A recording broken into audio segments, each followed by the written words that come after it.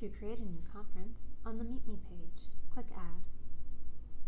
Enter a brief description of the topic of the conference in the subject field. Set the dates and times for the conference using the pull-down list. Enter the number of expected participants in the Participants field. Click the recurring checkbox if the conference will occur on a regular basis. Once all the information has been entered, click Check Availability. If there are enough ports on the conference bridge to support your conference at the chosen time, it will show the conference as available. Click Save.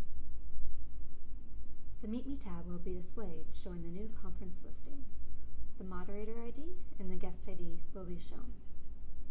You will also have the option to send out email notification, to modify the conference, or to delete the conference.